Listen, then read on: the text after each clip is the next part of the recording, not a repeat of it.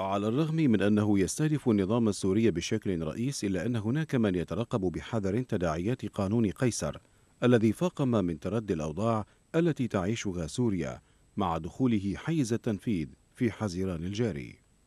قانون قيصر الأمريكي دخل حيز التنفيذ بإعلان واشنطن إنزال عقوبات على 39 شخصا وكيانا مرتبطين بنظام الأسد لتورطهم في ارتكاب انتهاكات جسيمة بحق الشعب السوري.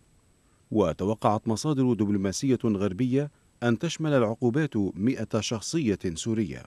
مسؤولون أمريكيون أكدوا أن من أهم أهداف العقوبات دفع الأسد للالتزام بالعملية السياسية في جنيف وفق القرار 2254 الذي يدعو إلى وقف إطلاق النار وإجراء انتخابات وتحقيق انتقال سياسي في سوريا.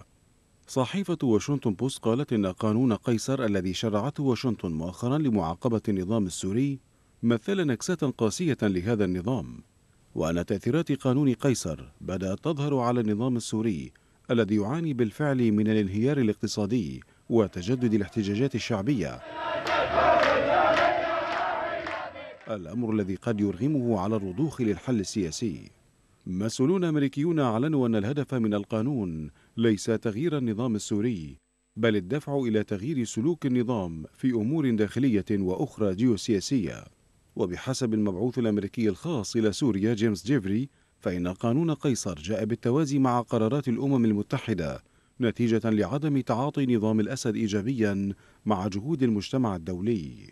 من جانب آخر فإن تداعيات قانون قيصر لا تزال تقلق الإيرانيين وغيرهم باعتبارهم أكثر المتضررين من هذا القانون بسبب استثماراتهم الهائلة في مناطق سيطرة نظام الأسد والتي تصبح بحكم المجمدة عندما تتسع دائرة العقوبات التي يفرضها هذا القانون.